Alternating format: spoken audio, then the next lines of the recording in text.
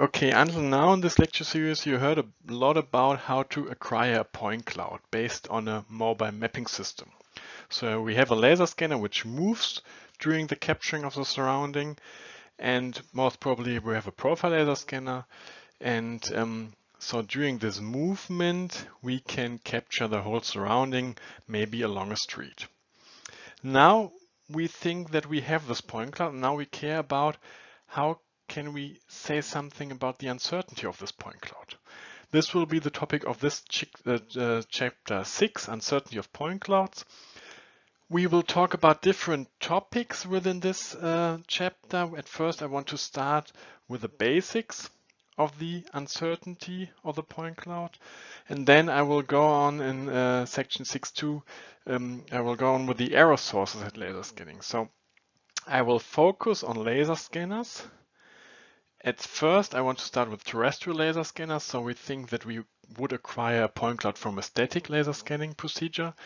And then we will extend this error source by the georeferencing, which is different between static and mobile laser scanning. All the other aspects are quite similar.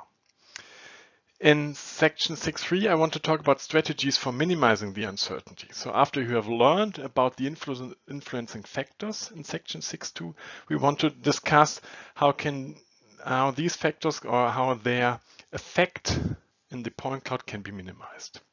And this will be the lecture of today. And in the next lecture, I will talk about the uh, section 6.4 to 6.6, where we will build up a stochastic model based on the basics that we learned today for point clouds. And we will differentiate between whether they are um, acquired by a static laser scanner which is section 6.4. And then we will again expand this, these error sources by the things that come on top of the uncertainty if we acquire a georeference point cloud with a static laser scanner or with a mobile mapping system.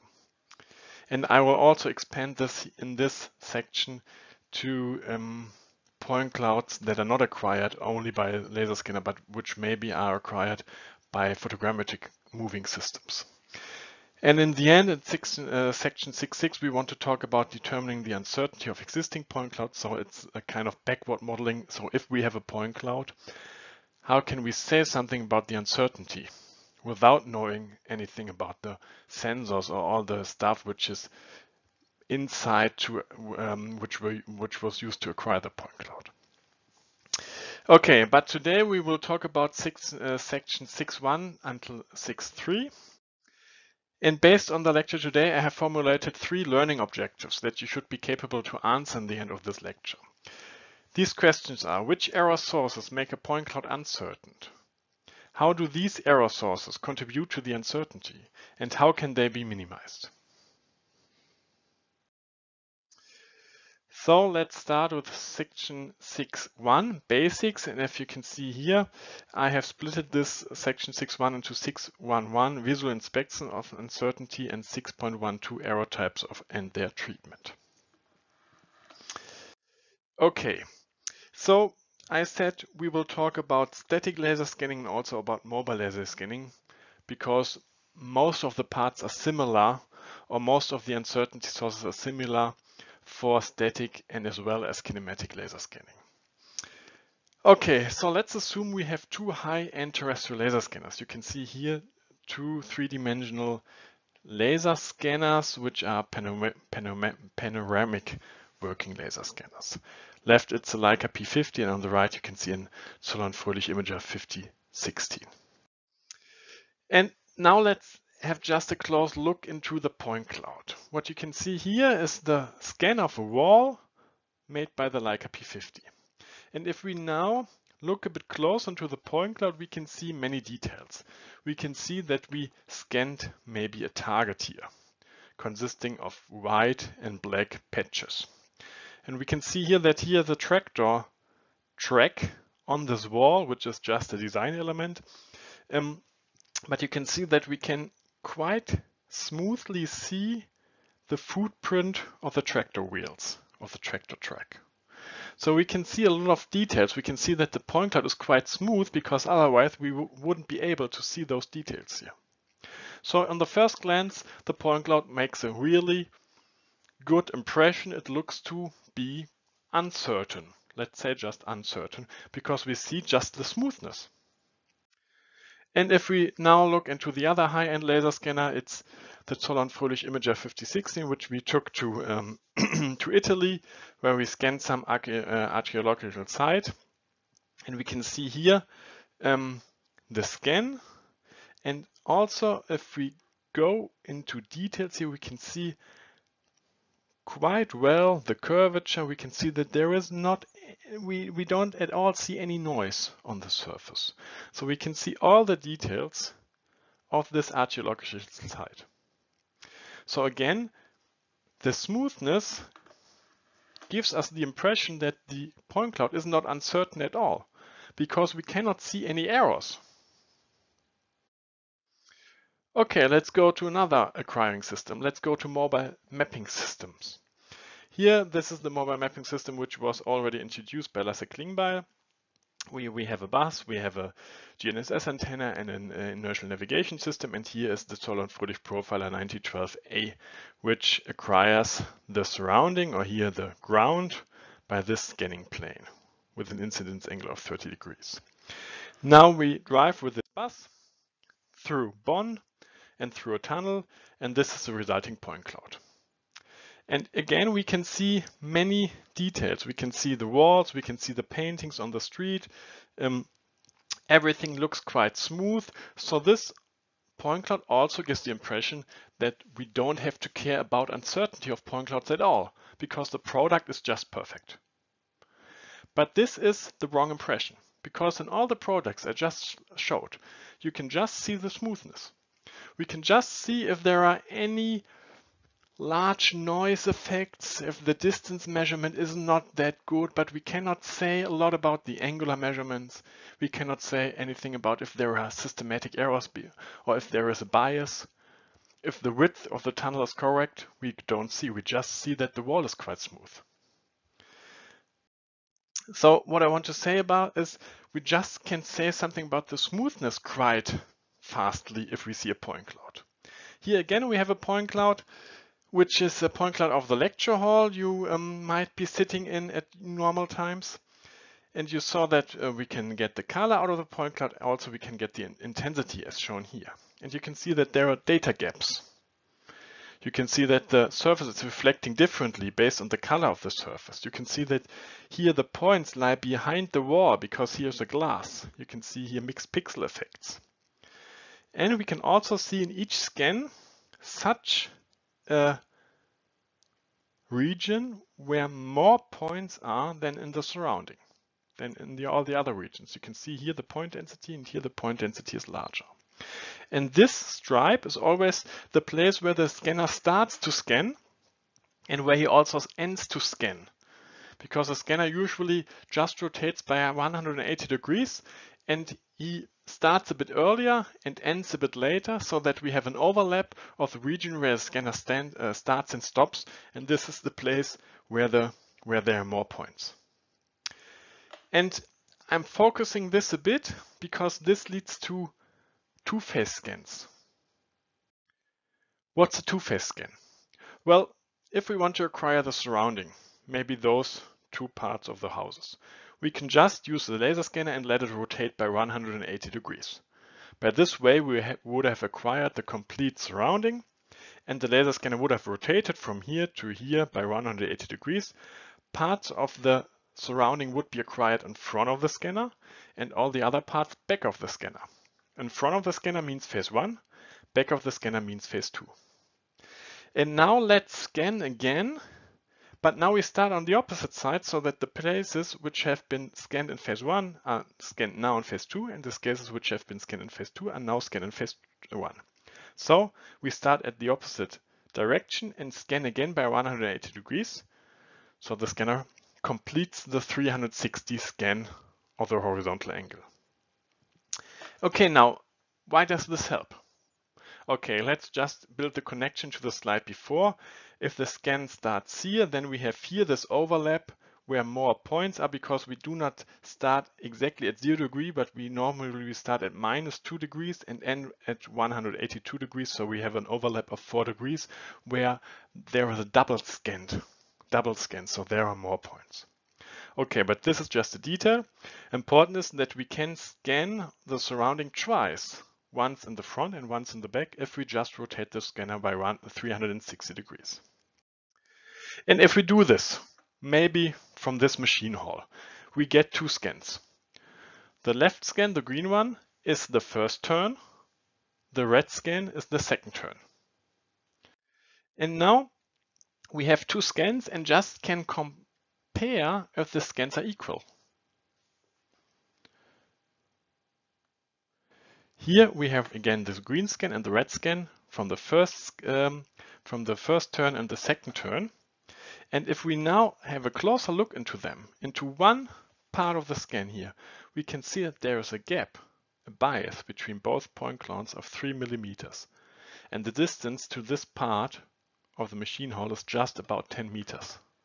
So in 10 meters away, we have a distance between a point cloud acquired by the same scanner just because it rotates by, uh, just because once it was scanned in phase one and in the other cycle it was scanned in phase two, we have a gap of three millimeters. We have a bias. So although the point clouds tend to look quite smooth, there might be systematic errors included, which you can just cannot see because they are not visible, because systematic errors are not obviously in the scanner point cloud. But they exist, we just don't see them. And the result could be maybe we scan this wall again, which we have seen before, which was so smooth with the laser scanner. Now we use the same laser scanner, scan this wall in phase one, scan it in phase two. So once and with a rotation starting from 0 degrees to 180 and then again from 180 to 360. And then we build the differences between those two scans. And you can see here that there are errors of about one and a half millimeters. So now you could say, okay, this is not my problem, one and a half millimeters, I don't care. Okay, but this can get larger and larger depending on the vertical angle of the scanner and depending on the distance to the object and also depending on the scanner. As I said before, now we have here two high-end scanners and scanners that might not be manufactured this well and might not be calibrated by the manufacturer this well. This error could be larger. So we have errors here with this laser scanner up to one, one uh, and a half millimeters at 10 meters distance. They depend on the vertical angle, as you can see here, and also on the horizontal angle because they change. They increase from here to here, and they change over the horizontal angle. And this leads to offset between phase one and phase two. And this means we have systematic errors included in the point cloud, but we just can see them if we scan with a special strategy. So, what I want to point out by this introduction, errors in the point cloud exist in any case. Even if you don't see them, even if the product tends to look nice, tends to look smooth, there are in any way errors included leading to an uncertain point cloud. They may be just visually hidden, just if you look into the point cloud and don't analyze the accuracy with more detail. Okay, so visual inspection, inspection of the uncertainty tends to lead to the impression that the point cloud is less uncertain than it is indeed. Okay, now let's start with a more theoretical view looking into the error types that might lead to affect the uncertainty of a point cloud. Okay, as usually, we separate errors into different types. We separate them into precision, bias, and outliers. Or let's say the precision is a measure for random errors, the bias is a measure for systematic errors, and then we have the third component, the outliers. So let me explain this figure. If we measure maybe a distance, then we have a reference value. This is the distance as it should be. This is the true value of the distance. But now we measure the distance once. This could be one distance measurement. And then we measure it the second time, the third time, the fourth time, and so on. And all these measurements will be accumulated around some position. And this position, the average of all the measured distances, is shifted by the true value by a bias. And this bias determines the systematic error in the distance measurement in this example. And the, the, the, the position of all the measured distances around this average position can be described by the precision. This is the random error. So the distance measurement is not in the uh, does not equal the bias because we additionally have random errors on top of the systematic errors. And then there might also be outliers not fitting to this model of bias and precision. They are just arbitrarily large differencing from this assumption here. And all these values lie on um, or all these values can just get quant uh, can um, or let's start differently. A measurement system has a certain resolution. So this is just the quantity that a measurement can have based on the measurement principle. So if I can just differentiate between millimeters at a, at a, distance measurement, I can just get millimeter values. And this shall be, as demonstrated by the resolution here.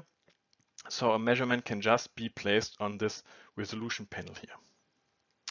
Okay, and usually we assume that the precision, the random errors can be described by some Gaussian distribution here in y direction, also in x direction. So we have a two-dimensional sketch here. And the bias is just some shift. Okay, so we usually separate errors or the uncertainty into different types. Random errors, systematic errors, and outliers. And this can be seen again here in this table. We see here the outliers, then the systematic errors and the random errors.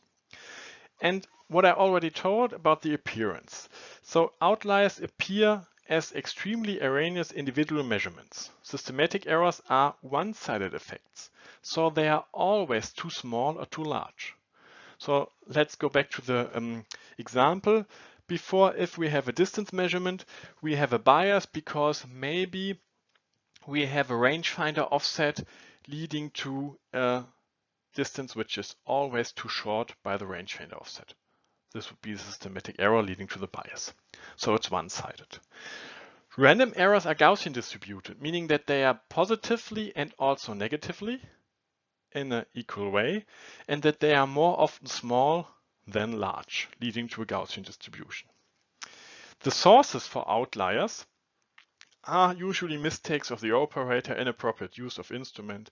So all the things which were quite important if we think of measurement systems which are yeah, rather manually, where the operator um, writes down the observations in some data sheet and which doesn't have a, a closed automatic data processing. So this is outliers don't appear that much anymore, but I will talk about this later when we talk about error sources. Systematic errors, the source is the imperfection of the measurement, procedure, and insufficient calibration of the instrument. So we will talk about calibration. Random errors arise because we have fluctuations that are not trackable by a calibration. Uncontrolled changes of measurement object and environment. So random errors occur due to the fact that there are still error sources similar to systematic errors, but they are so fluctuating. They are so small, they are not trackable, so that we cannot model them anymore, so that we pack them into the um, type of random errors. So if we would be able to look into the last detail, into the smallest detail, then we could maybe also parameterize them as systematic errors, but usually they are treated as random errors because it's just too fluctuating, too small, and so on, and they appear as Gaussian distributed.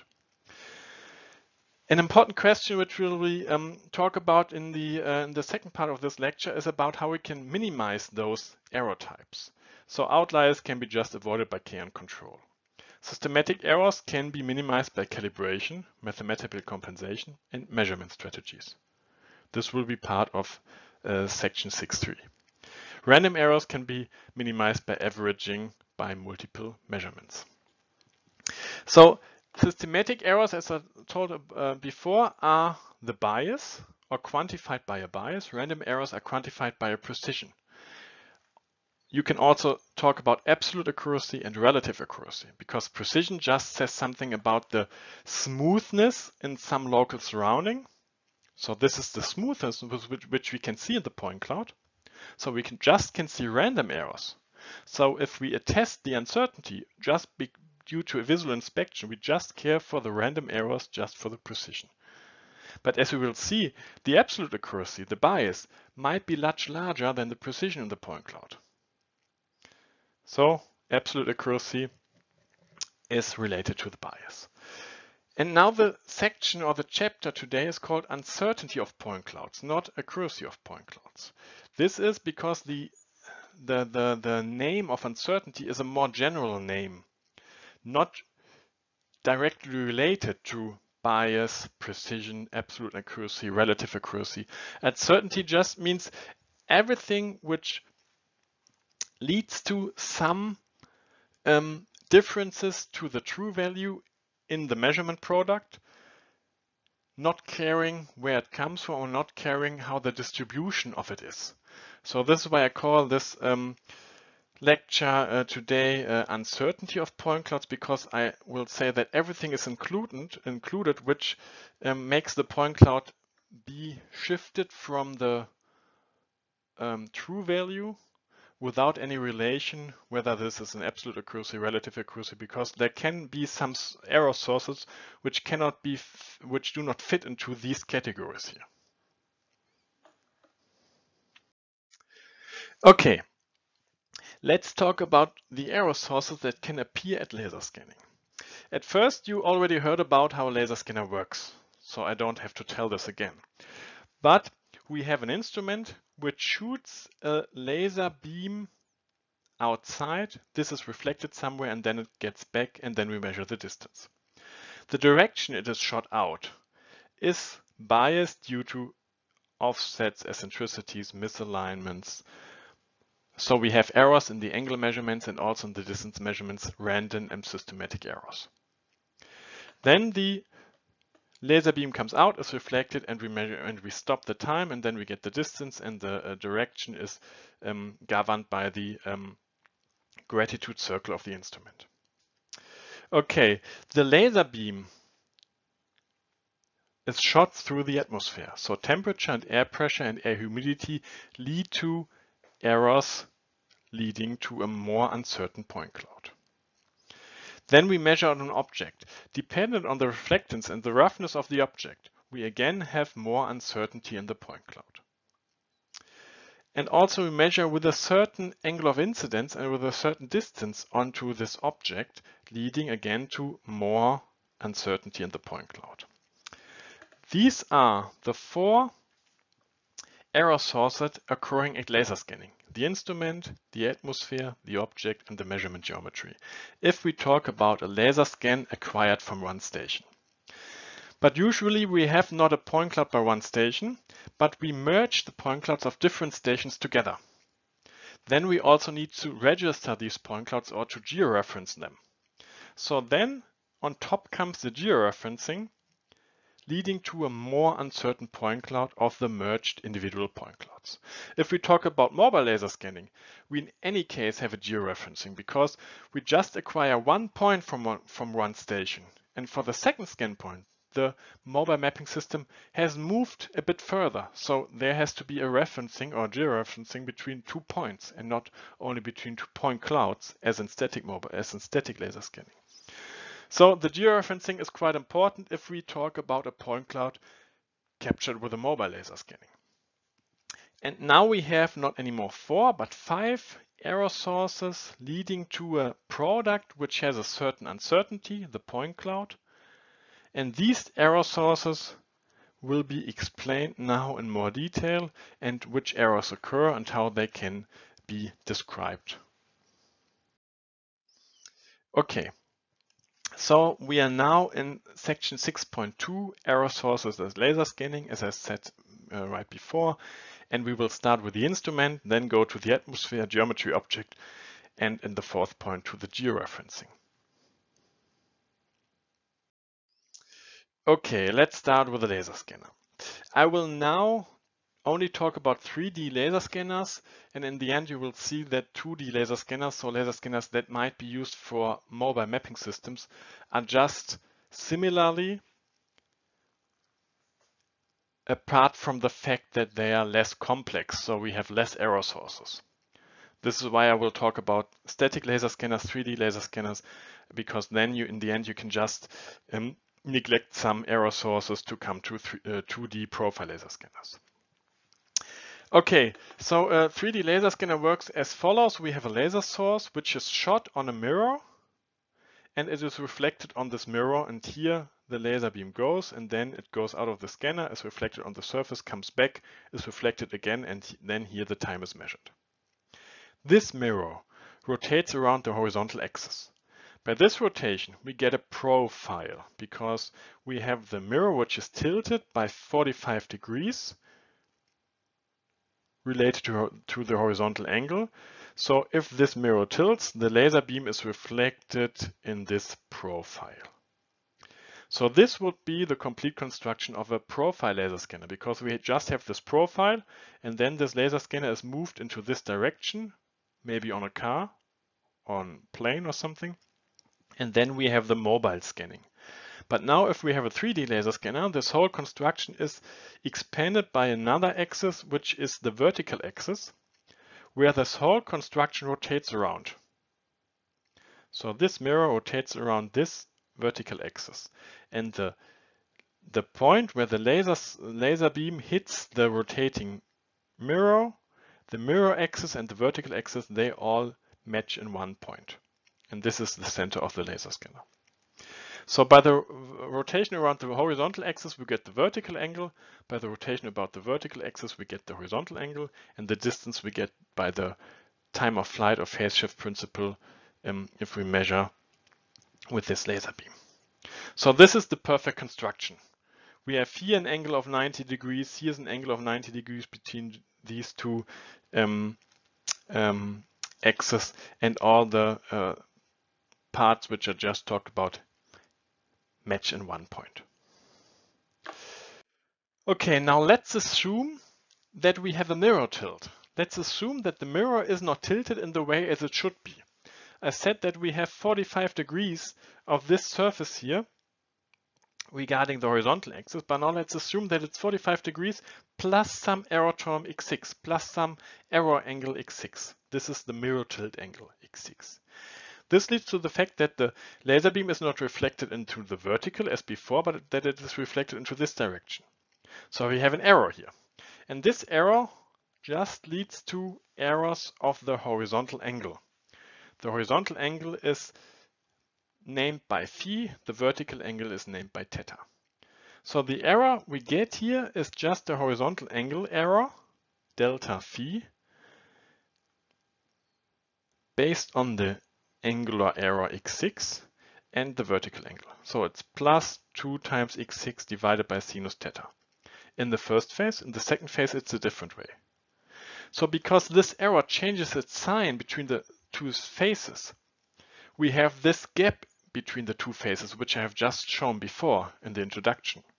So all these errors which change their sign between two phases lead to an error in the overlap of phase 1 and phase 2. And for the geodesists of you, this mirror tilt is equal to collimation axis error of a total station. And we have another error, maybe the horizontal axis error, meaning that the um, rotating mirror is not in the uh, does not uh, lie in the true horizon as it should be, but that we have an angle here, x7, which is the error here, also leading to a um, to a different um, out um, to a different direction of the laser beam and also leading to an error in the horizontal angle this time of plus x7 divided by tangent theta in the first phase. In the second phase, again, the same effect, but with an opposite sign, all, uh, also depending on the vertical angle. And this, for the geodesist of you, equals a horizontal axis error at total stations. And these are just two examples of errors that can occur for an instrument. There are further misalignments, maybe an eccentricity of the laser, which can be vertical or horizontal. Or maybe an eccentricity of the mirror. Maybe it's not rotating around the central point, but it's shifted in some way. Maybe the laser is not aligned correctly. Maybe it's not parallel to the horizontal axis, but it's uh, misaligned by some angles in the vertical or, or in the horizontal. Or maybe we have eccentricities of the axis. And all the errors can be summarized in the table, which I've shown here. And you can see here about 18 error sources that can exist at a three-dimensional panoramic laser scanner. And all these error sources lead to systematic errors in the point cloud, which you can see in the overlap, but which you cannot see just by attesting the smoothness of the point cloud. So you can just not see them if you have a glance at a point cloud. You can just see them at small details, maybe in the overlap. Or maybe if you know the width of some surface you measured, but therefore you need to have a reference. So it's really hard to attest that the point cloud is uncertain by these error sources if you just visually inspect the point cloud. So you can see here these error sources. The red ones are the most important ones. These lead to the largest errors in the point cloud. You can see here the names, you can see here if they also exist in total stations. You can see by two phases if they switch their sign between phase one and phase two. And you can see if they exist in all laser scanners, including high-end laser scanners, or if high-end laser scanners have a certain um, processing or have certain sensors included um, that they don't exist in those scanners. But you can see that the most prominent ones, vertical index offset, mirror tilt, horizontal axis error, rangefinder offset, exist all also on high-end laser scanners, so these are also included by these errors. There are just some eccentricities of the encoders which might not be present in high-end laser scanners because they have several reading heads reading the current orientation of the graduated circles in horizontal and uh, vertical direction so that these errors might be eliminated during the um, processing within these laser scanners.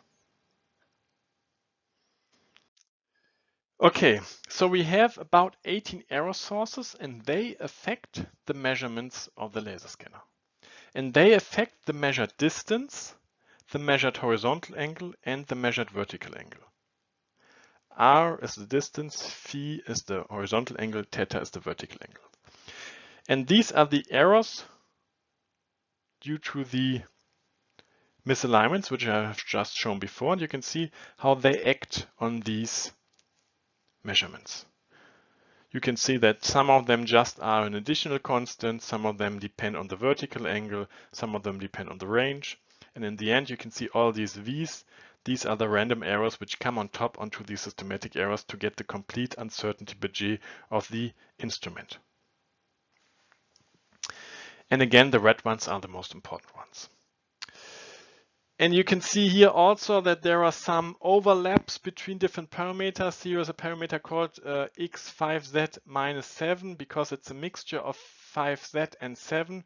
This is because um, here you can see the vertical beam tilt x5z in the vertical direction and horizontal axis error have the same outcome. So they are um, added here, leading to a, in leading to an um, let's say accumulated error. But we also have included them, or x5z has an uh, they have the same outcome for the horizontal direction, but here for the vertical direction, just 5z has an impact, x7 doesn't have an impact. So this is why we have this error, for example, 5z twice here, once mixed with x57 minus 7 and one without 7, because in the vertical just x5z were acts and in the horizontal they have the same impact, so they are added here together. But this is just a small detail. Okay, coming to an inter interim summary regarding the instrumental errors. Systematic and random errors of angular and range measurements exist in the point cloud. The sources are quite similar to a total station, but they are much more complex. You have seen that we have 18 error sources for a total station. Only parts of them are important. Um, the impacts on the point cloud might be large. They are most times larger than the smoothness so larger than the random errors because the distance measurement, the random errors of the distance measurements are quite small by now. But the angular errors still exist, you just cannot see them by visual inspection. I just talked about 3D panoramic laser scanners, but as I said before, you just can leave one axis to come to a um, 2D profile laser scanner and to um, transform the things I just said to um, profile laser scanners may be used at mobile mapping. Okay, so now we talked about the instrument, how we get an uncertainty by the instrument um, for the point cloud. Now let's talk about the atmosphere. So therefore we have to look at how the distance is measured at a laser scanner. So we talk at first about the propagation delay of the signal. As I said in some lectures before, um, we have two different strategies to measure the distance using a laser scanner. And it's similar to if you, if you lose a total station. The first principle is the time of flight principle. There we say that the distance is got by measuring the time that a signal takes if we send it from the scanner and it gets back because so this is the doubled distance so we have to divide it by two assuming that we know the speed of light in the current atmosphere. This is the time of flight principle. Another principle is the phase shift principle. There we say okay again we have the distance we want to get out and we have some signal and this goes the way to the target and back so we have to divide it again by two but now we don't measure the time of flight. We just look how many waves are propagated between start and endpoint. Therefore, we have the total number of waves and we have some rest piece of a wave depending on the phase shift. So we need to know these parameters here instead of the time of flight. Okay, both strategies are based on the fact that we know the current propagation of the signal in the atmosphere. This can just be seen by incorporating not the speed of light in atmosphere, but the speed of light in vacuum. If we want to include the speed of light in vacuum, because we know this constant here, which is about this, then we can introduce this, but then we see that there is a new value, which is n. This is the refraction index of the atmosphere. So we don't know the speed of light in the atmosphere, so we can replace it by the speed of light in vacuum. But then there is some factor n, which is the refraction index of the atmosphere, leading to this equation here. So we need to know the refraction index of the atmosphere to get the correct distance. If we look into the phase shift principle, this is somehow similar because here we can get a relation to the frequency. The wavelength is the speed of light in atmosphere divided by the frequency. So if we know this relation and this relation, then we can say that the distance equals this, where we again have the refraction index. So for both principles, we know, need to know the refraction index in the atmosphere. So we need to know how fast the light propagates in the atmosphere. If we don't know this, you can see that this works as a scale on the distance. So it's a systematic error. affecting the propagation, affecting the propagation speed, so affecting the measured distance. Thus, we need to know the refraction index in the atmosphere. And what I just brought here is how much this refraction index depends on the parameters of the atmosphere. This refraction index be, uh, depends on the temperature, the air pressure, and the air humidity. What you can see here is the change of the refraction index depending on those three values. And you can see here that uh, the different that the change of temperature works one to one on the change of the refraction index, but you can see here that it's uh, uh that there is a factor of 10 um, um, uh, that there is um, a factor of 10 times um, at delta n times 10 um, i minus 6. So you can see that one degree of temperature change leading to a change of the refraction index divided by 1 million. So this is parts per million, one parts per million. Meaning that the temperature change of one degree equals, here's a minus sign, a change of the distance of one parts per million, so one ppm. So temperature change of one degree equals on a distance of one kilometer, one millimeter. And you can see that here is just a factor of 0.28, meaning that an air pressure change of 3 hectopascal, 3 times uh, 0.28 is approximately 1, equals plus 1 ppm. And for air humidity, it's just 25 hectopascal, uh, leading to a, a shorter distance of 1 ppm. This is somehow neglectable, but you can see that the temperature and the air pressure lead to a significant change of the distance,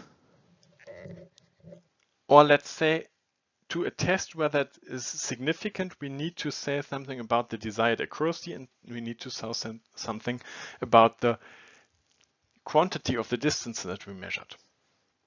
So maybe this factor is neglectable in close range applications, but at larger distances, maybe larger than 100 meters, it's in any case important, or let's say it's presumably important.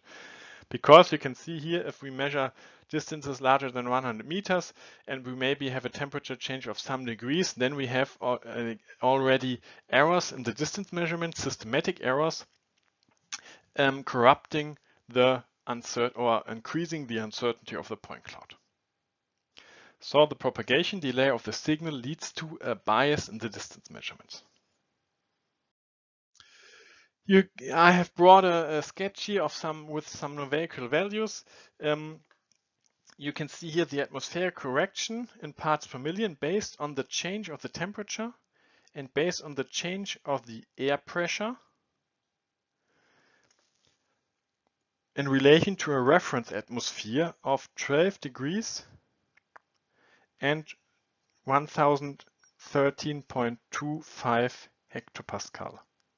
These are usually the reference values and you can see here how the distance measurement is affected by this um, propagation delay in the atmosphere uh, depending on the current temperature and depending on the current air pressure. And then you can see, then you can um, estimate if this is important for your task or not.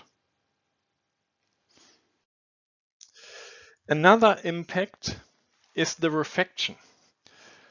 The refraction leads to the fact that the air that the beam is not propagated uh, linearly, but that it, the beam propagation is curved. And this is due to the fact that the atmosphere composes of horizontal layers with varying density. And then we have a vertical gradient of the refraction index. And this leads to a curved beam. So because we have here different layers in the atmosphere, which are of different density, different horizontal layers, this leads to the fact that the beam is not propagated in a straight line, but that it is curved in some way. Meaning that if we send the laser beam in this direction with the laser scanner, then it does not measure really in this direction, but due to the curvature is measured maybe to this point here and not here as we assumed it to be. So we measure the distance to this point, but we think that we send the laser beam into this direction, meaning that we have in this direction, this distance r measured so that the point lies somewhere here. It's too short.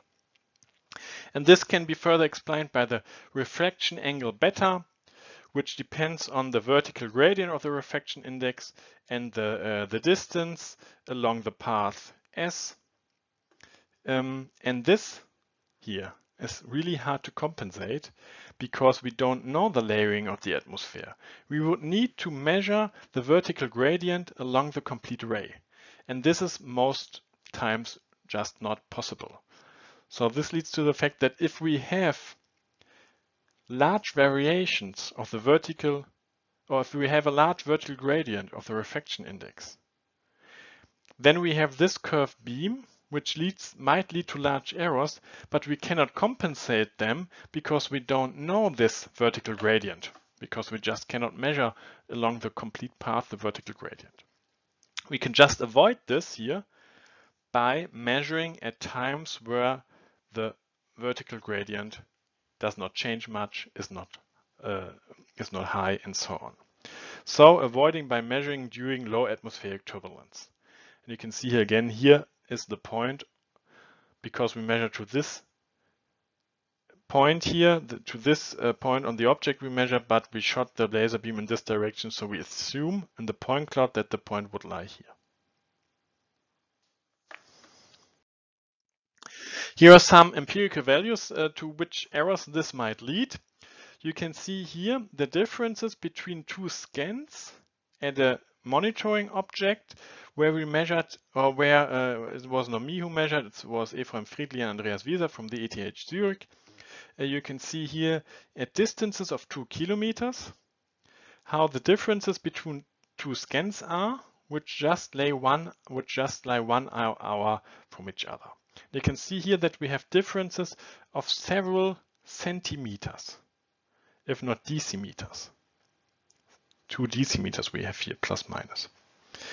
So you can see that we have here differences between the point clouds acquired on an object, which is stable, and the difference, which is just between those um, two, uh, with between this hour, just arises from the different um, uh, refraction index because of the vertical gradient.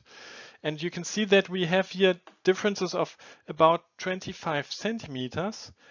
And this is due to a refraction angle of about 10 milligon during day or about 2 milligon during night. So this is during day, which is quite large. So we can just only avoid this if we measure during night.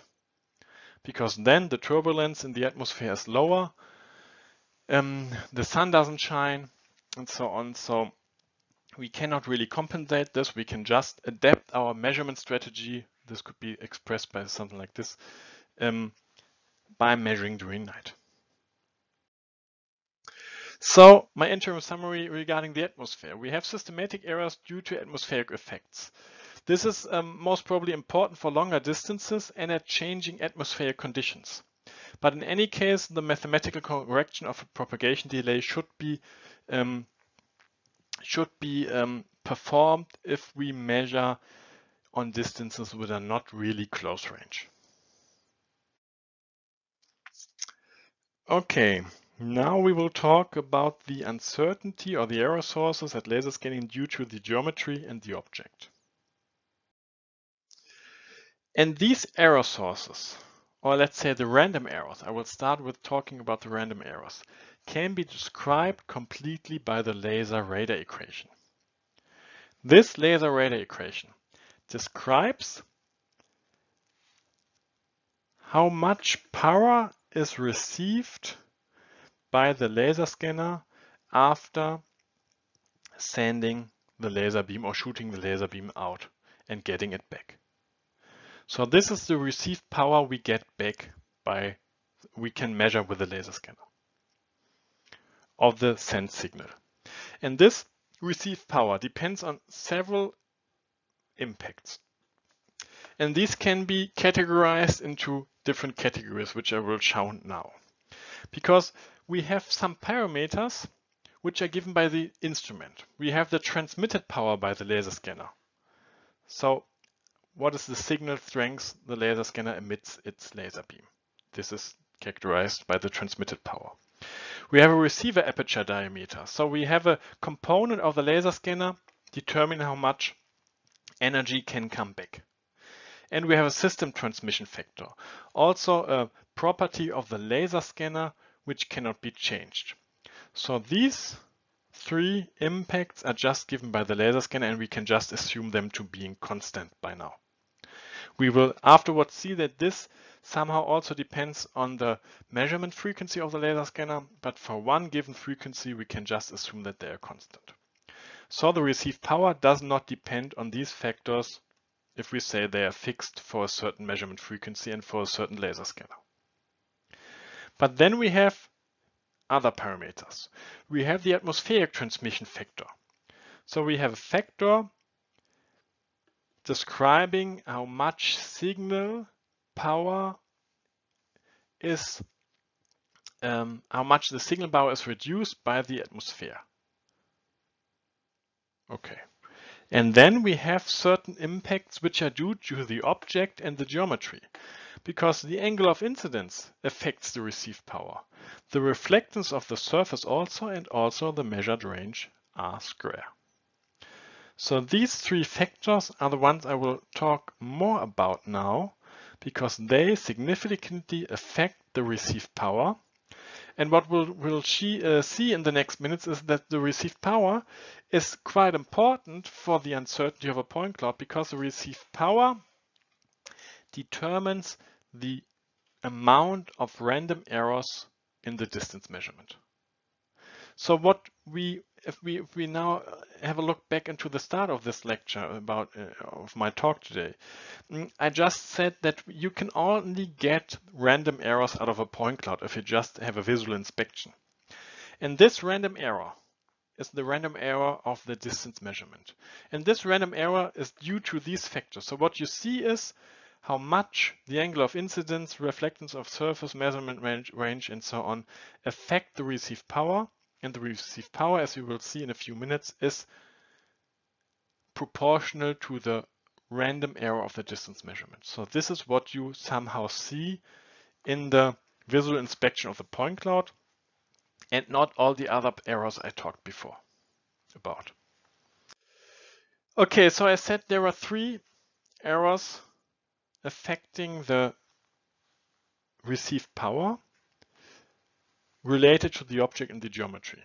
So we had the angle of incidence, and this can be just explained by the fact. So, so I will now explain why the um, why the signal strength depends on those three factors. Well, the first part is we already talked about this in a previous lecture, and that the angle of incidence um, leads to different leads uh, um, is important for the power of the received signal because depending on the reflectance properties of the object, the signal is not reflected completely into the direction where it comes from. So only if we have a laser scanner and it shoots its laser beam onto this part of the object, it's reflected maybe into this direction. If we have a, um, a reflection which is not um, pointed into one direction, then only some parts of it come back. But if we would measure with an incidence angle of zero degrees, most of the laser beam would come back. So the signal strength just depends on the angle of incidence. This was already explained before. And we also know that the laser beam is not an infinitesimal small spot, but that we have a laser spot with a size of some millimeters or centimeters. And if we measure with a rather large laser spot, then we average uh, on a, a larger surface for the distance measurement, not all of the signal comes back. So it's also reasonable that depending on the distance, the signal strength um, gets lower. And the last aspect, the reflectance of the surface, this is quite obvious you know that if we look into a point cloud, we can always see the reflectance of the surface. We can see here a scan target where we have here white parts of the surface and where we have here black parts and the black parts are not reflected that good and the white parts are reflected better and here blue points meaning that the intensity is higher, red points mean that it's lower. So to interpret the laser radar equation, it's quite obvious that these three um, um, characteristics affect the signal strength, signal strength of the received signal. Okay, and this is quite important because in 2017 there was one paper by Daniel Wujanz determining the relation between the received signal strength and the precision of the distance measurement. And to get to this point, he made several experiments. And I will just quite briefly um, introduce these experiments so that you get to know that, okay, the intensity is a really important measure, the raw intensity in the point cloud, to say something about the random errors of the distance measurements. The first experiment he did was he measured on a piece of paper, of planar paper, with colors from black to more gray to white. So he had eight different pieces of paper. And he measured on those eight pieces of paper in distances between 5 meters and 44 meters. And then for each measurement, he collected the intensity and he also determined the standard deviation of the range measurement. So he measured several times on this piece of paper and he um, cut off or he um, switched off the rotation of the laser scanner so that he always measured on the similar point. And then he had a relation for each measurement between intensity and standard deviation of the ranges, so the random errors of the ranges. Um, standard deviation is similar to the precision. And then he just printed it in a sketch. And you can see here that there is a clear relation between the intensity and the standard deviation of the ranges. And it's not important whether the piece of paper is quite black and the distance is quite small, or if the paper is rather light and the distance is far away, because everything fits to this function, which we can don't know yet. And then he expanded his, uh, his experiment not looking into the reflectance of uh, due to the color and distance, but he used different materials. He used styrofoam, beech panel, acrylic-based wallpaper, white silicate plaster, resin-coated plywood. All these, which is shown here, he measured it in two different distances with two different incidence angles. And without explaining this in detail, you can just see that again, this really, really good uh, fits uh, well to the line before. The line before is shown by the black dots and now the new data is shown by the triangles, circles and so on. You can see that this again matches really well. Now he measured again two different distances with a varying in incidence angle and again this fits perfectly. So what is the result? The result is that we get a line out of this experiment, that we get a line which can be parameterized by a factor times intensity I B.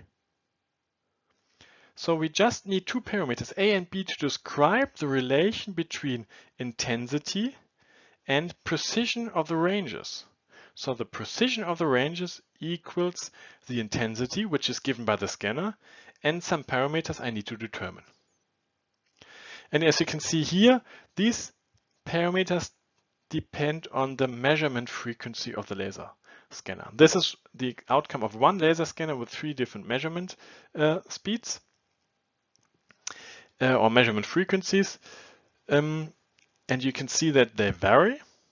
So we need to estimate A and B per scanner model and per measurement frequency.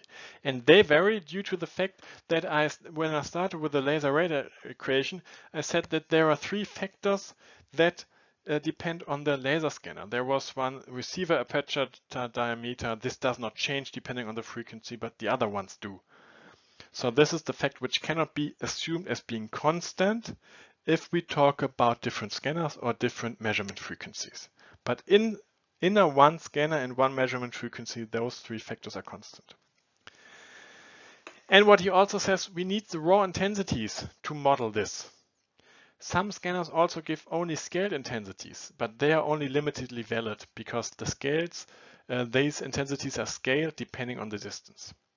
As, I will, as you will see on the next slide, uh, there was some experiment by Berit Schmitz which showed that they can be used at some distances, but not in the complete working range.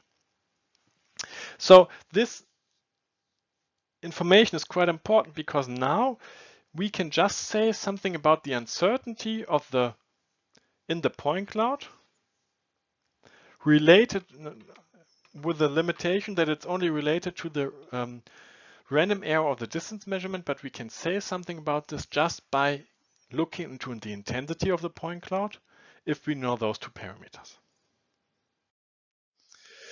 Okay, so the question is how to estimate these parameters. Daniel Wujanz in his paper described a mode for 1D measurements where he repetitively measured without a mirror rotation on one identical point at varying distances, materials, angles of incidence, and so on. And then he estimated the standard deviation and the, he averaged the intensity for these repetitive measurements.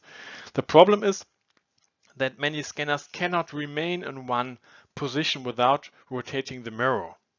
So this strategy cannot be performed by, uh, by all the scanners.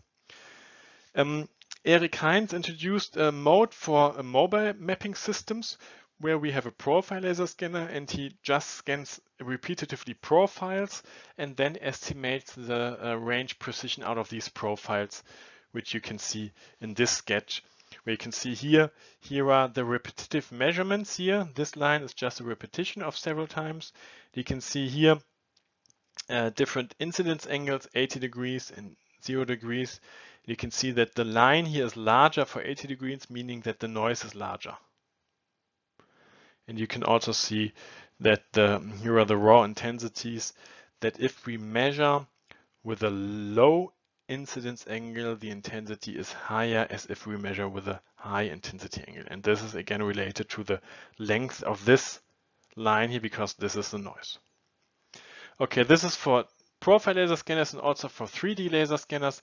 Berit Schmitz um, had a study where she showed that um, she can just determine the range precision by scanning on printed pages. So you don't need to buy expensive stuff. You can just, this also works with the profile laser scanner, use a laser scanner, scan on some printed pages with different distances and different incidence angles, and then estimate the factors A and B. And then you, for all times, know if you just see the intensity of the in the point cloud for each individual point, how precise the distance measurement is at this position. So this gives you a good hint to determine the uncertainty of the point cloud, but just related to the precision of the distance measurements. Okay, uh, how does this help? So let's assume we scan a wooden panel or we scan a water dam. Then we can just look into the point cloud, how the intensities are. If we look into the wooden panel, the intensity is about this. If we look onto the um, uh, water dam, the intensity is lower. If we scan a target or a metallic door, then we have those intensities. Then we estimate the parameters A and B. Maybe for like a scan station P20, they are given by this if we estimate them. And then we can build our line and just get the uncertainty or the precision of the distance measurement at the correspond of the corresponding object if we just look into the intensity we have.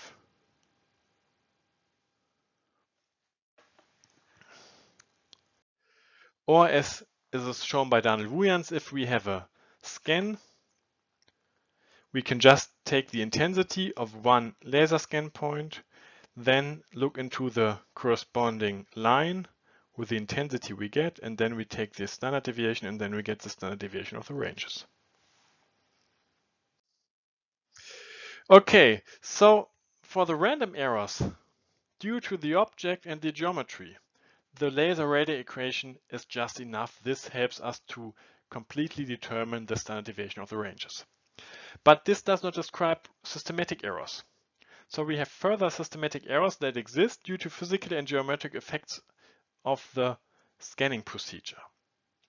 And they cannot be explained by the laser radar equation, but I still want to show you the effects that can occur in a point cloud. And these effects or these errors are due to varying reflectance of the surface, due to large angles of incidence, due to transmission or penetration to the surface, due to measurement of edges, and due to mixed pixels and total reflection. All these things lead to systematic errors. You see that the reflectance, the angles of incidence, um, have also led to random errors. I just spoke about this in the laser radar equation, but those also lead to systematic errors that you need to cope with depending on the geometry and the object you measure on.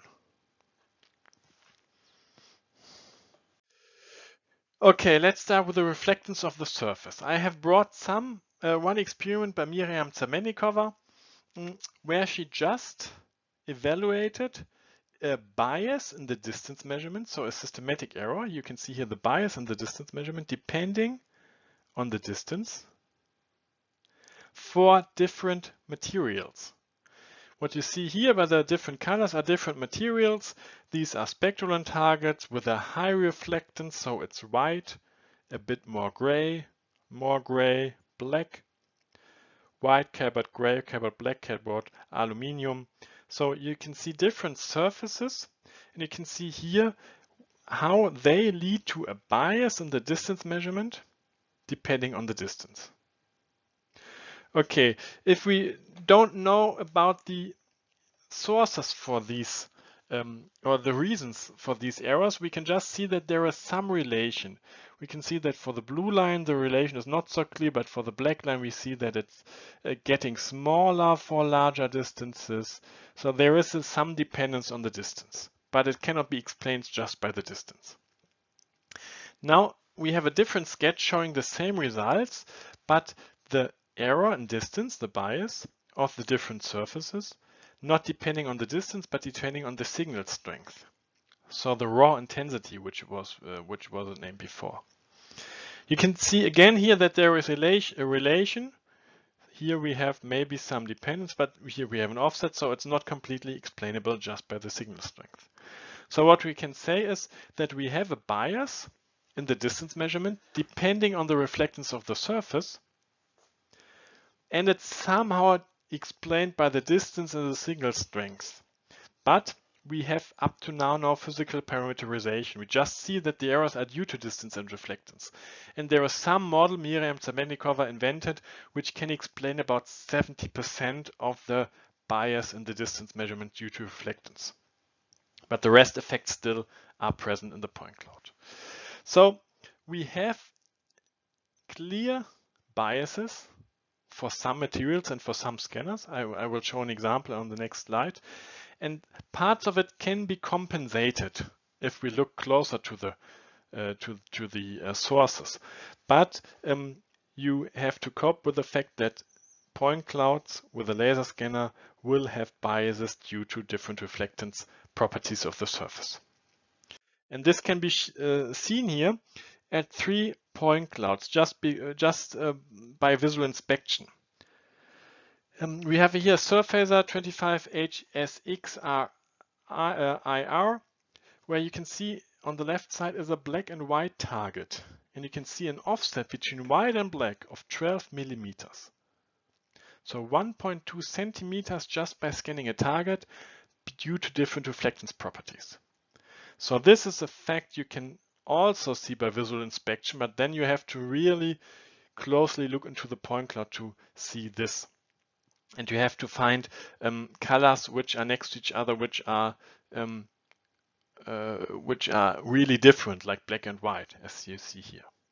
But here we have 12 millimeters. At Leica P20, we have 5 millimeters. At Leica P50, the, the offset vanishes. So the customer or the manufacturer somehow cope with this fact So what we see is the um, error or the uncertainty due to these different reflectance properties leading to a bias um, are known by the manufacturer and they cope with this somehow because P50 is an enhancement of the P20, but we cannot say that they don't exist in any point clouds anymore. So offsets, biases, systematic errors due to reflectance properties exists in point cloud clouds. The other aspect is the angle of incidence. Um, the angle of incidence can be seen here on the sketch. If we measure rectangular on a surface, the angle of incidence is zero. Here it's larger and here it's larger. And you can see that the laser spot somehow deforms. It just gets larger due to another angle of incidence. And this can be explained by this sketch. When we have a laser scanner. We measure into this direction. Then we have a divergence angle showing or leading to the fact that we measure not just a point, but that we have a laser spot. And here's the, the middle of the laser of, of the, here's the direction where the laser beam is shot in. But if we have now the laser beam on the surface, we see that the middle of the footprint is not here, but it's here. And if we think that the distance measurement is an integral over the complete footprint, then the distance would be measured rather to this point and not to this point, meaning that we measure into this direction, but the distance is measured to this point, so that we have to rotate this point a bit into this direction, meaning that we measure to this point. So it's the measurement is systematically too large based on this geometric interpretation. Angle of incidence here is alpha. Okay, if this is really the case, geometry says this, then we would have errors. But if we estimate these errors for a certain laser scanner, it will be similar for other laser scanners. We see that this effect is quite small. We have for distances between 3.5 meters and 100 meters and angles of incidence between 15 degrees and 60 degrees maximally 30 micrometers longer distances. But this is a large incidence angle and a large distance, so it's neglectable. Let's say it's neglectable. So the geometric effect due to the angle of incidence might be present, but it's so small that in any case it's neglectable. But on the other hand, we have a physical effect. We have a physical effect which does not lead to too long distances, but to, to short distances. And this really exists. We measure with a high angle of incidence rather to small distances to the object. And this can be explained by the energy front of the laser beam. So we have here the laser, and this is the energy front emitted by the laser. Now we scan on a surface which is tilted towards the laser beam in some way, so we have an angle of incidence. Here you can see the orthogonal distance, so the angle of uh, incidence would be here between those. We have a deformation of the energy wavefront if reflected with non-zero angle of incidence, which you can see here. We measure on this surface, it's tilted towards the direction, and then we have a deformation here. The distances the intensities are pulled together in the front part and they are pulled apart in the backward part. Here they are pulled apart, here they are pushed together. And this leads to the fact that the intensity distribution at the photodetector is shifted towards the front part, delta R1, by a time shift, delta T1. And the consequence is a shortened distance measurement. This can be seen in more detail in Thomas Schäfer dissertation. So if we measure on a surface with a high angle of incidence, we rather measure to short distances. We also made some experiments regarding this fact. You can see here uh, the errors in distance in millimeters, depending on the angle of incidence for a Zoller-Fröhlich imager 1516 at different distances. You can see here that, that up to an angle of incidence of 30 degrees, nothing happens, but then we have here, depending on the distance, a larger offset. So at 70 meter distance, we have here an offset of up to 1.6 millimeters, which we measure the distance to short. It depends on the distance, because the larger the distance, the larger the laser spot size is. It depends on the angle of incidence, because the larger the angle of incidence, the larger the laser spot deformation is. So this has to be coped with if we measure with large angle of incidences on the surface. Another aspect is the penetration of the surface. We know that not the complete laser beam is reflected and comes back to the laser scanner. And this, these properties, how much is reflected and so on, depends on the surface or on the object which you measure on. So let's assume we measure on a plant leaf. Then we have a laser beam. Parts of the laser beam are reflected at the outer surface of the plant leaf, which is the cuticular. But parts of the laser beam also transmit through the epidermis, cuticular epidermis. And then parts of the laser beam are absorbed by chlorophyll. We don't see these parts again anymore. And parts of the laser beam are also transmitted completely. They just go through the leaf. We also don't see these parts anymore. But some parts of the laser beam are reflected at the cell wall and go back out again. So what we get by the laser beam, if we get the signal back on the laser scanner, we have the signal which is reflected directly on the surface, and we have a signal which is reflected somewhere in the surface.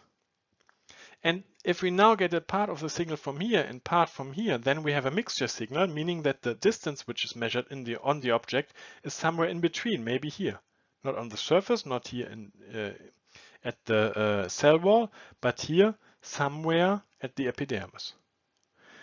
And this just not is not just valid for uh, plant leaves, but maybe if we measure on styrofoam. We also, we penetrate the surface, parts of the signal go in we maybe also see the styrofoam shining if we measure on it. Um, we see the red laser dot in the styrofoam, meaning that we measure potentially too long because the laser beam is partly penetrated or partly penetrates into the surface. So penetration to the sur uh, of the surface might lead to a systematically too long measured distance, so might lead to a bias. We further have edge effects. You can see here if we measure with a laser scanner on an inner edge and we say that the uh, distance measurement is an integral over the whole over the complete laser spot, then we know that uh, the measurement will be systematically too short. If we measure on an outer edge, the measurement will be systematically too long.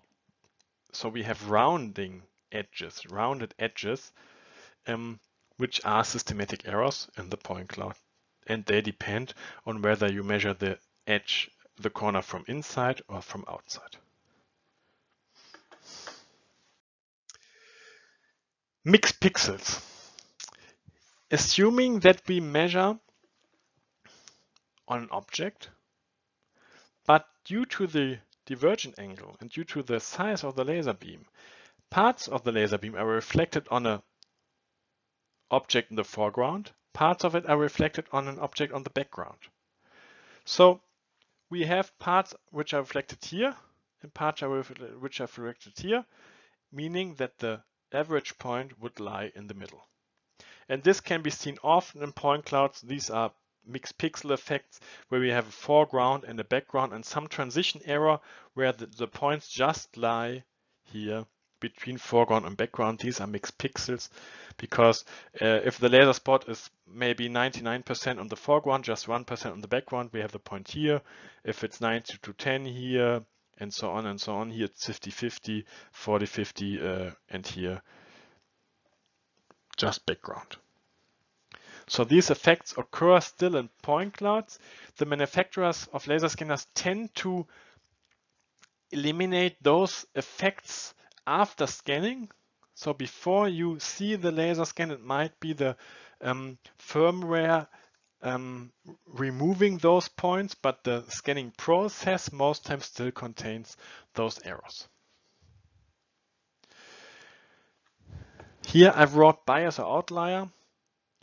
These are biases, but depending on the size,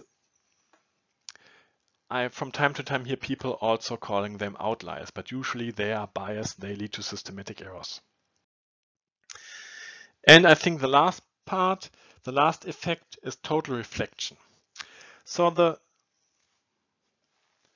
theoretical uh, procedure is we measure with a laser scanner on the surface, the surface reflects the signal in some way, parts of it come back, and we just measure the distance. This would be um, diffuse reflection. Now let's assume we measure on a surface which does not reflect diffuse, but which reflects specularly. Meaning that we measure on this surface incidence angle alpha equals emergent angle alpha, so that the laser beam is reflected only in this direction, nothing comes back. And then it's reflected from here on this surface. And here we have again diffuse reflection, meaning that from here it's reflected in any, uh, in any direction. So parts of it are again here reflected incidence angle equals emergent angle, now opposite, coming back. So we get a signal back, although the signal went from here to here to here to here.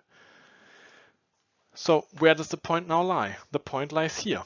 Because we measured, we sent it into this direction, but the distance was not just from to here, but to here, here, here. So we have to add these distances into this direction and we get the point here. And again, this is it a bias or an outlier? This discussion would be harder, but um, I would also say that it's a bias, it's a systematic error because it's reproducible. We can always, if we measure on this surface again, we will, we will reproduce this systematic error. So this is rather the characteristic of a bias and not of an outlier. Okay, so now we talked about the error sources which occur if we scan just from one station with a 3D laser scanner. All the effects are similar if we scan from a moving platform. Then we also have instrumental errors, atmospheric errors, and geometric and object errors. The outcome is just the same. It does not depend on whether the scanner moves or not. But if the scanner moves, the georeferencing is different. And now we want to talk about how the georeferencing influences the uncertainty in static laser scanning as well as as mobile mapping systems. Okay, um, what is the difference? So let's assume we have a static laser scanner. We want to acquire this street or these houses from the front side with static laser scanning. Then we would position our laser scanner here, here, here, and here maybe, and all scans are made in different with different orientations and from different stations. So the um, we need to transform them into each other, leading to a georeferencing if we also want to transform them to a superordinate coordinate system. Okay, so what do we do? We just estimate the transformation parameters so that they are all in the different datum, geodetic datum, or on the different coordinate system. What is behind this is just a transformation. So we acquire points by measuring the distance, the horizontal angle and the vertical angle. We transform those points by rotating them around three axes and by shifting them along a translation vector to get the georeference point. This is just what we do. Measurements are green in the scanner coordinate system S transformation by rotation in a translation, and then we have those points in the superordinate georeferenced coordinate system G. Okay, how do we do this? To register or to georeference those scans, we need either targets, so we scan targets from different stations and then use the coordinates of the targets to georeference the laser scans, or we use point cloud based strategies, something like the ICP, the iterative closest point algorithm, meaning that we have two point clouds here, the green and the red one, and we align them by some strategy, which is the ICP or some plane-based strategy. Um, you know those strategies, I won't explain them any further here. Or we need additional hardware. We put a GNSS antenna or an inclinometer or a barometer or a combination of all of them on the laser scanner so that the laser scanner already knows where he is positioned and in which direction he looks. And if it's tilted maybe.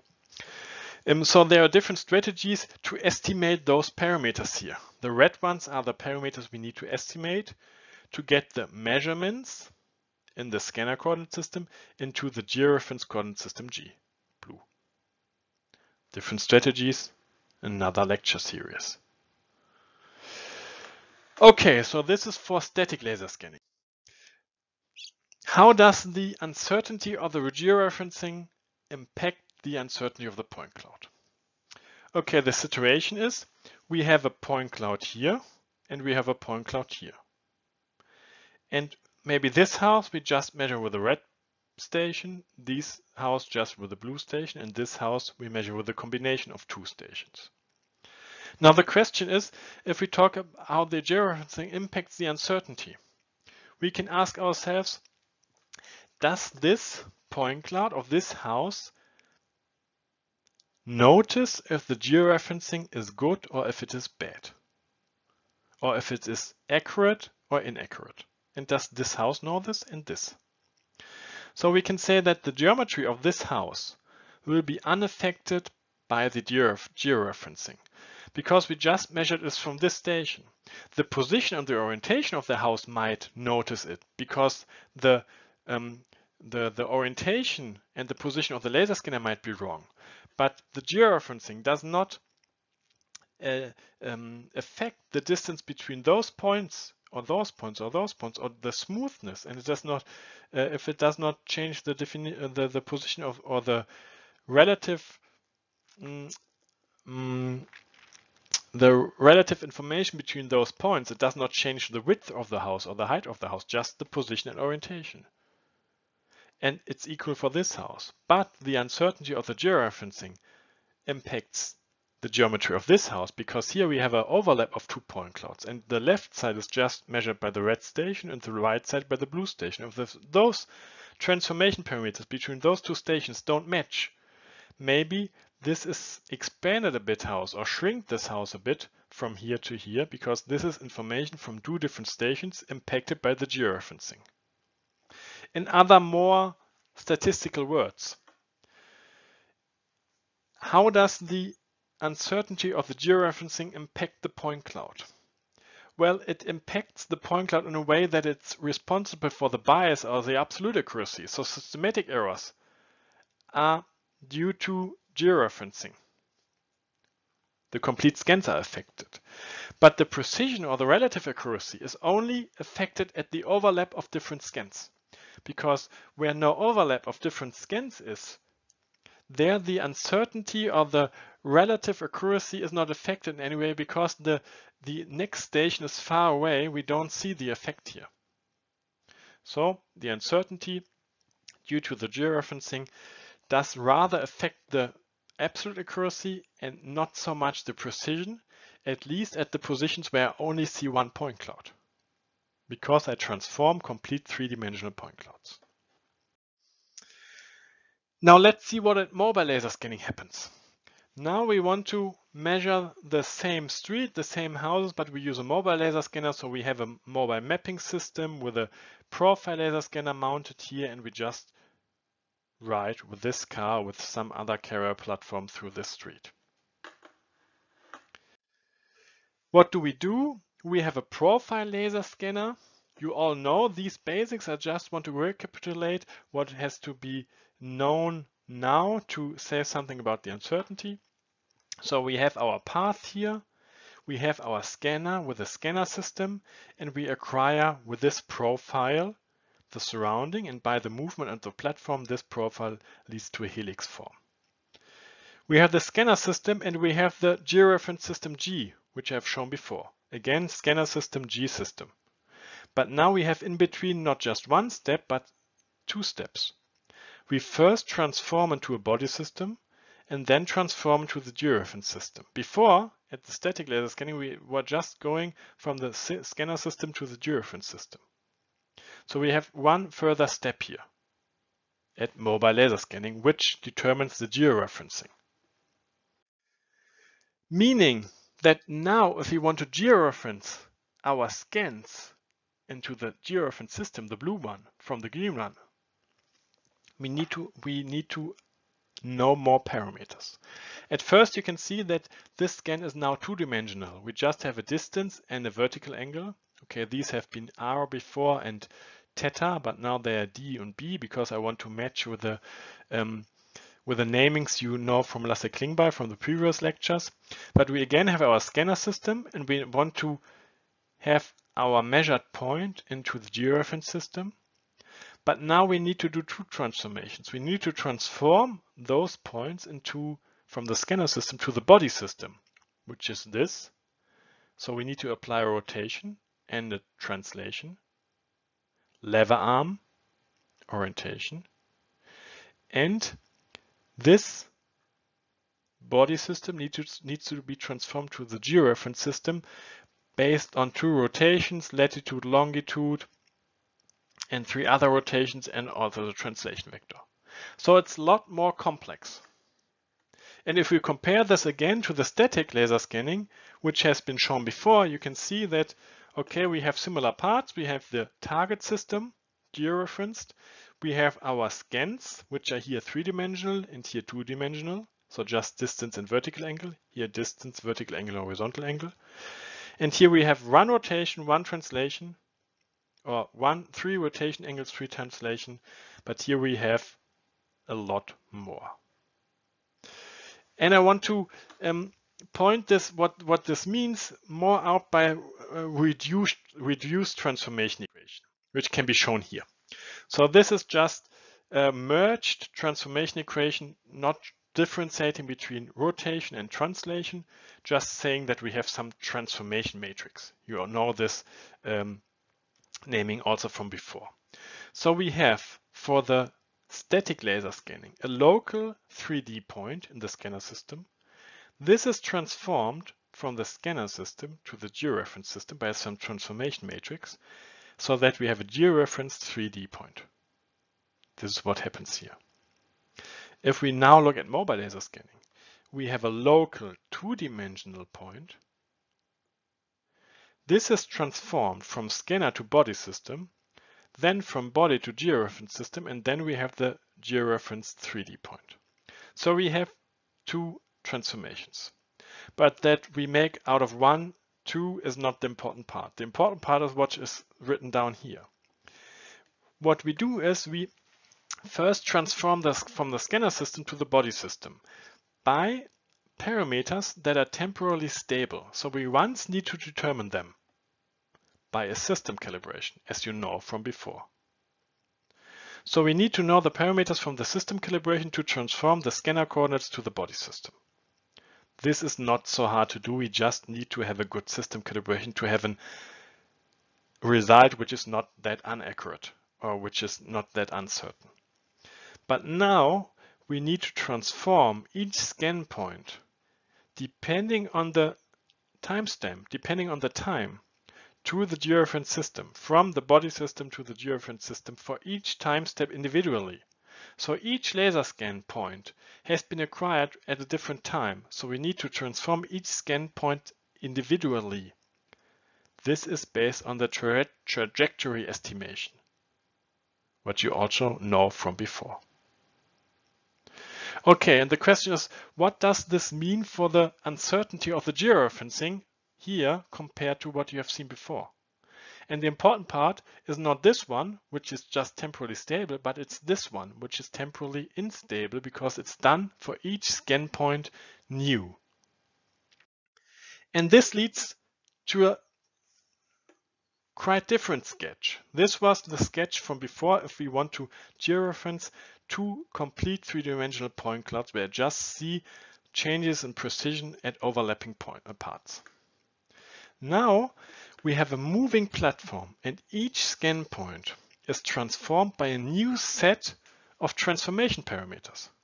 Here we had one set of transformation parameters between those two stations. And here we have for each point a new set of transformation parameters based on the system calibration, which is stable. So this is not a new set, but based on the trajectory estimation, which is each time a new set of six parameters needed to transform. Meaning that the bias and the absolute accuracy again affects the complete scans, but also the precision and the relative accuracy is affected in the complete scan or is uh, due uh, is or let's say the um, inaccuracies or uncertainties in the georeferencing does not only affect the bias and the absolute accuracy everywhere, but it affects also the precision everywhere. Because of the georeferencing, again, is here worse, then this complete point cloud is shifted a bit maybe or rotated. This house does not know this or the geometry of the house relative measures, but at the overlap we seized. But if we now have a shift of this point, then we have in the precision between those two and those two differences. So the precision is affected completely by the georeferencing. Okay, this um, can be shown by uh, one example. We can see here a static laser scan um, of on just some field with a house georeferencing using targets, uncertainty several millimeters. Now we acquired this point, uh, this uh, surrounding also with a mobile laser scanning system, as you have, as you can see here. So we went from here in this direction and then back to this direction. And we can see here colored the distances between those two point clouds, the static one and the mobile one. It's cloud to cloud uh, comparison. The errors are less than 12 centimeters but we can see that the errors are here larger than, for example, here. And this is due to the fact that when we went this direction, the GPS antenna or the GNSS uh, positioning was had a, a high uncertainty. So the points which were acquired from this position are erroneous or more erroneous than the other ones. So we have an error here between those and the other ones leading to this large error compared to the static point cloud, which does not exist here. So you can see here the precision here is quite worse. We would have, um, mm, if we would fit maybe a plane through these points, we would see that here are the uh, larger errors than at the other positions. So this effect is due to the georeferencing. Okay, my interim summary regarding the georeferencing. The uncertainty of georeferencing occurs when transforming local scan points into another coordinate system. Uh, at static laser scanning, uh, we uh, georeference complete 3D point clouds. The uncertainty is potentially lower. Uh, the bias um, is, um, or the, the georeferencing leads to a bias all over the point cloud, but the precision is only affected by the overlap of the scans. If we think of mobile laser scanning, we georeference individual 2D points, not complete 2D, uh, not complete point clouds. The uncertainty is potentially higher because we have more factors. We have the trajectory estimation, we have the system calibration, and you know that the trajectory estimation is due to many error sources and due to a complex uncertainty budget. And the bias uh, and the uncertainty of the georeferencing affects the bias and also the precision all over the point cloud. Okay, we now come to strategies for minimizing the uncertainty. Um, I will show you the table which I've shown you before about outliers, systematic errors and random errors. But now we just have to deal with one line and two columns. So we want to ask ourselves how can we minimize the uncertainty of the point cloud in the point cloud based on the knowledge we now have about all the error sources affecting the uncertainty. And as you can see here, we have different strategies to minimize the errors. Regarding random errors, we normally say we can average them out by multiple measurements. So what do we do in point clouds? You, we usually say, okay, we do not repetitively measure a point cloud. So if we measure a house from static or mobile laser scanning, we don't say, okay, we measure it 10 times to average out the random errors, but we say, okay, we have now a million points representing this house. If we estimate a plane through this, or if we make a smoothing or something, the random errors are averaged out. So we don't use um, um, temporal repeat, uh, repetition, we use areal repetition of the measurements. We use the spatial density of the points to average out the random errors because we estimate some plane or something. So we don't have to deal with the random errors anymore because of the high redundancy due to the high density, high spatial density of the points. But the question is how can we minimize systematic errors? Because as I've, as I've uh, said before all the time, the systematic errors are most times the one which have a larger quantity, which are those um, that affect that that are um, um, that are um, mm, governing the uncertainty budget. And therefore, we have different strategies to minimize systematic errors. Either we calibrate the laser scanner or the measurement system, we compensate mathematically these errors, or we use advanced measurement strategies to cope with these errors. And I will relate those three strategies to the error sources that we have discussed before. I have shown you error sources in different categories, geometry, object, atmosphere, instrument, and georeferencing. There we talk about different elements, the distance measurement, the angle of impact, smoothness, reflectance, propagation delay, refraction, construction of the instrument, or various influencing for, uh, factors. At the georeferencing, all of these uh, impact the georeferencing, for example. And these elements lead to random and or systematic errors. So the distance measurement, the geometry leads more to random errors. Angle of incidence leads to, leads to random and systematic errors and so on. Um, and what is now important, we talked about how to minimize systematic errors. And I divided them into the categories as talked about before, calibration, mathematical compensation, or measurement strategies. And if you see here how angle of incidence, smoothness, reflectance, propagation delay can be mathematically compensated, compensated is what I've shown before. I talked about um, the impact of different temperature and air humidity on the propagation delay and you know the, how to compensate this. You just need to measure temperature and air humidity and then you can by 1 ppm per degree Celsius or 1 ppm per 3 hectopascal compensate mathematically the propagation delay. Or for reflectance, I talk about a study of Miriam Zámečníková, um, how to deal with the error due to different reflectance properties, the bias and the distance measurement.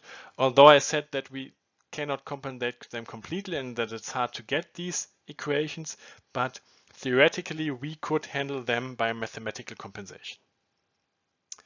Refraction, measurement strategy, yeah, the only measurement strategy would be measuring when the turbulence is low, so measuring during night, so that the refraction does not impact the point cloud that much. But now what I want to say in a few more words is something about how we can minimize systematic errors of the instrument by calibration and by measurement strategies.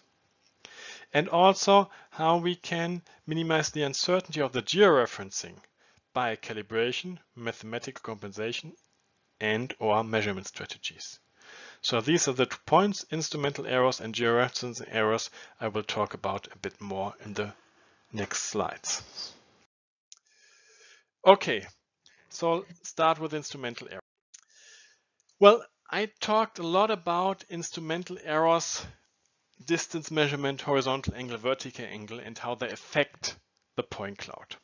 The question is how can we calibrate a laser scanner so that they are not anymore included in the point cloud? And therefore, the most prominent method is to calibrate the laser scanner in a network with a network strategy.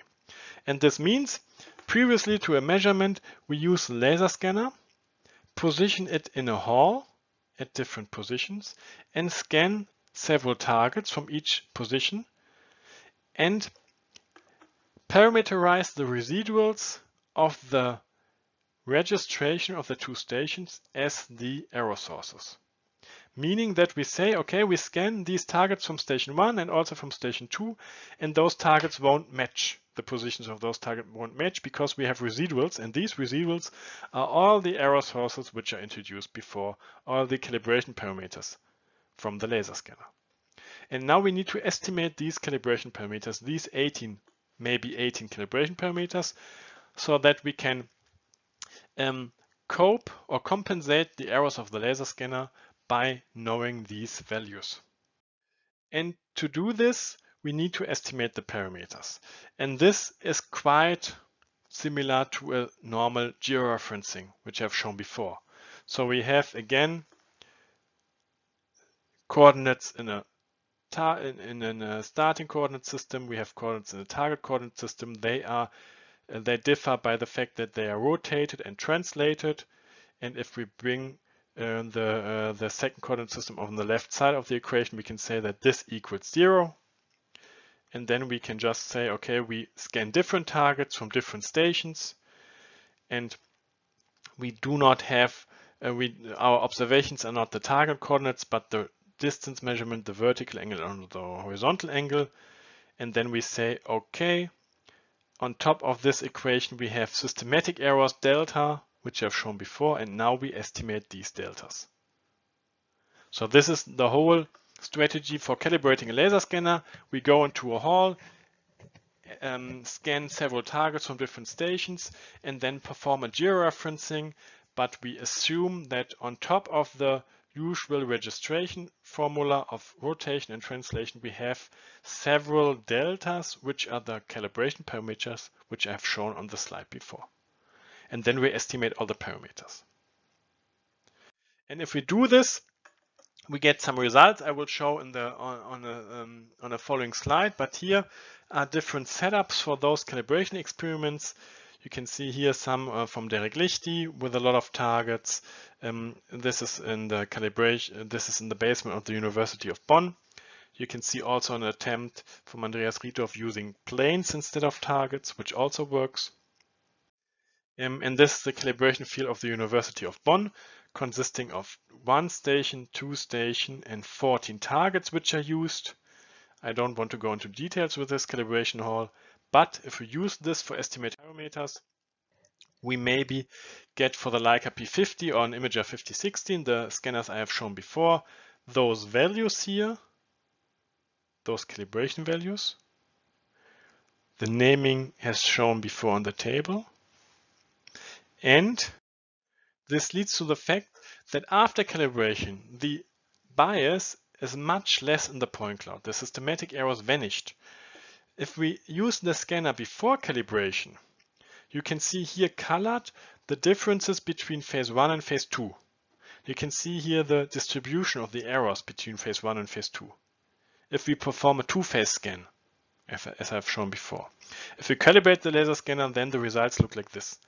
They are much more normally distributed around zero and these errors here with minus 3 to plus 3 are also shown here. And you can see here that they also vanished. Here's again the large shift between phase 1 and phase 2. And also for the Zoller und Fröhlich Imager 5016, phase 1 minus phase 2 before and after calibration, it really works well. So we can minimize the uncertainty of the point cloud by calibrating just the laser scanner.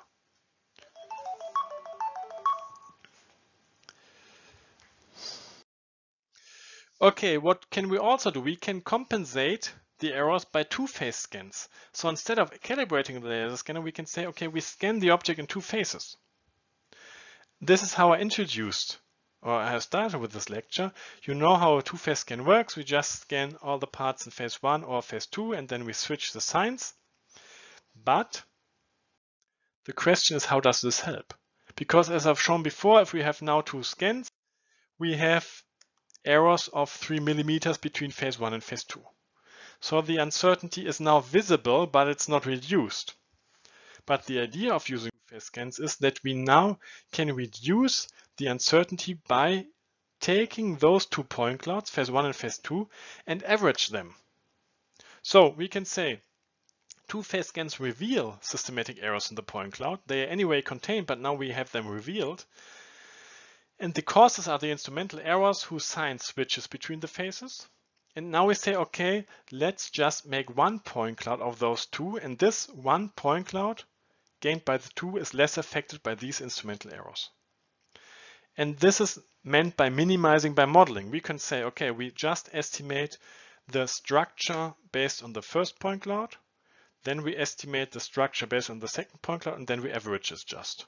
So we could make an aerial modeling per phase and then average the parameters or the point cloud or whatever, or we just throw the complete point cloud of phase one and phase two in one in one function and just estimate one plane maybe through this and then we would have a combined we would have a, a, um, a result, a modeled result based on the combined point cloud uh, where all the errors which change their sign between phase one and phase two are vanished. So this could be a strategy to minimize the uncertainty uh, this, um, that is due to instrumental errors. Okay, so a bit, um, a few words about instrumental errors. Now a few words about georeferencing error. Okay, if we think of mobile mapping system, I said that we can use all the strategies. We can either calibrate or we can mathematically compensate, or we can use advanced measurement strategies to cope with the uncertainty of the georeferencing. If we start with the calibration, well, the uncertainty is reduced if we properly calibrate our mobile mapping system, meaning that we calibrate single sensors, GNSS, IMU, laser scanner, as I've shown before for the laser scanner, for example. This will reduce the uncertainty in the point cloud. But we also should calibrate the geometrical relationships leading to the system calibration. You know these basics, but I just want to um, rename them or resort them in the context of how the uncertainty of the point cloud can be minimized, although you know those strategies and so on from the lectures from Lasse Klingbeil before. So if you properly calibrate the geometrical relationships between laser scanner and body system, for example, in the system calibration, the uncertainty will be decreased. The other step is the temporal calibration leading to the sensor synchronization. So if we have different time steps for all the different sensors, then we need to calibrate them on an identical time basis so that we don't have any temporal errors in the point cloud due to the, which will depend on the, on the um, velocity of the uh, carrier platform, for example. So calibration does not only mean the sensor itself, but also the system and the time. So by doing this properly, we can reduce the uncertainty in the point cloud that is due to the georeferencing. We could also reduce the uncertainty of the georeferencing by appropriate mathematical compensation. Meaning that the question is how do you process the measurements that you made for georeferencing to georeference each individual point. And therefore you learned different strategies. You learned that you use some filter algorithm, Kalman filter, particle filter, unscented Kalman filter, whatever. This means that you take all the measurements until a certain time. This is usually the time where we are right now and estimate the best position and orientation, so the best georeferencing for the current position of the platform and orientation. But you can make this even more inaccurate if you don't not only take the measurements before this position, but if you also look into the future and take those measurements, leading to a smoothing equation. You also learned this from Lasse Klingbeil, Rauchtung Striebel smoother, which does not take only the measurements from the past, but also from the future, which is possible if you don't need the result in real time. So you can make profit out of the fact that you don't need real-time results by also taking future measurements for georeferencing the mobile mapping system more properly, leading to a less inaccurate result of the point cloud. And if we would translate this strategy to static laser scanning, this would somehow mean that we do a network adjustment rather than just registering single stations or georeferencing single neighbored stations so that we would um, use all the measurements which exist to estimate the um, transformation parameters in the best way we can. Okay, now I said how we can reduce the uncertainty due to the georeferencing by calibration, by mathematical compensation, and now the last point, we can also reduce it by proper measurement strategies. And this would lead to repetitive georeferencing. At static laser scanning, this could look like this. We have three different laser scanner stations and we want to georeference them. Then we could make this as possible. We select three targets, this and this and this, which you can see from this station this station, and then we can estimate the parameters between those two. Then we use further three targets between those two stations where we can estimate the transformation parameters between those. And then we would have the transformation from here to here, from here to here, and then we have to add this transformation onto this to have those and those in an identical coordinate frame. But a measurement strategy, a better would be to also include targets which you measure from this and this station identically to make this more solid, this transformation. This will also lead to a network adjustment. So a repetitive georeferencing because we do it, let's say, um, um, not not really. Um, um, if I would uh, tell this with a slang, I would say, okay, we we georeference several times, but this is not true. We just um, make georeferencing based on overlapping observations, meaning that the georeferencing will be less uncertain.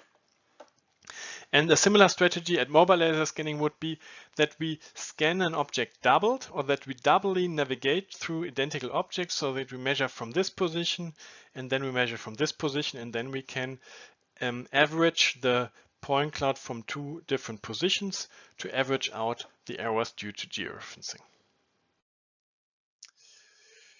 Okay, regarding the minimizing of the uncertainty of the point cloud.